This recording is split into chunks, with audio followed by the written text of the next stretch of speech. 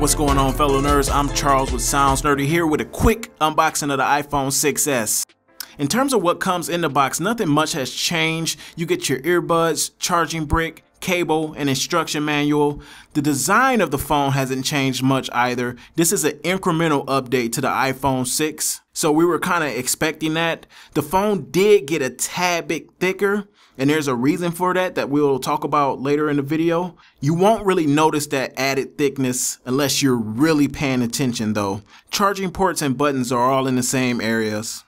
The biggest difference you'll notice comes when you're using the phone. The phone comes running iOS 9. That paired with the new A9 chip and 2 gigabytes of RAM make this phone blazing fast. In fact, Geekbench scores would indicate that this phone is twice as fast as its predecessor.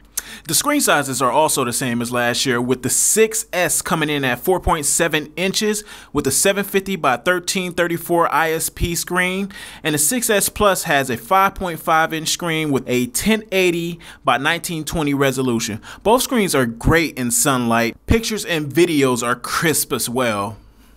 And the last thing I want to talk about is the new 3D Touch. This feature is the reason the iPhone has gotten a little bit thicker this year.